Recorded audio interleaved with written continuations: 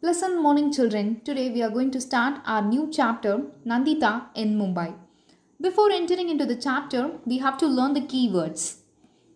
The first word, treatment. It spells as T R E A T M E N T, treatment.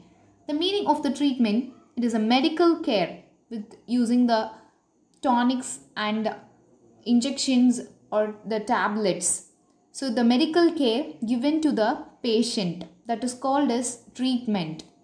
And next word it is crowd. It spells as C R O W D crowd. It is a its meaning is large number of person in a place, a crowd of people. That is the crowd. Third word it is hut. H U T hut. The meaning of the hut it is actually the home that is with one room which is often made of wood or any steel that is called as hut. Fourth word it is courtyard. It spells as C O U R T Y A R D courtyard. This is a place without roof and which surrounds our home within the compound. That is called as courtyard. Next word it is scared. It spells as S C A R E D, scared. It is a frightened feel. You get afraid of anything, no? The frightened feel. That is called as scared. And next word, it is lift. L I F T, lift. It is actually a mission. You can able to see this in the shopping malls or else in the very big buildings. This is used to lift number of persons from one floor to the next floor that is called as lift. Next word apartment. It spells as A P A R T M E N T apartment.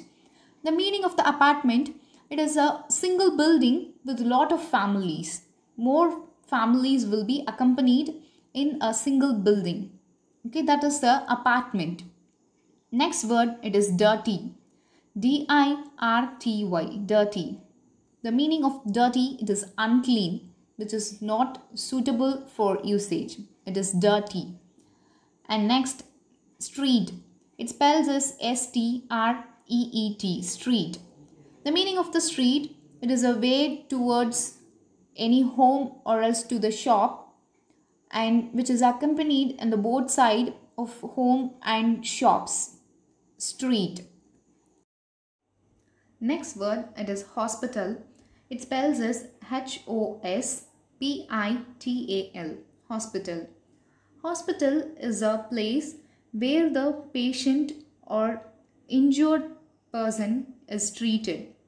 It is a building where the person is treated that is called as hospital. So these are the keywords of this chapter.